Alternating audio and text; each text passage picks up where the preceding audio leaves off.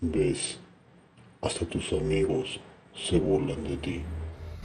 Yo no tengo amigos. Solo tengo odio.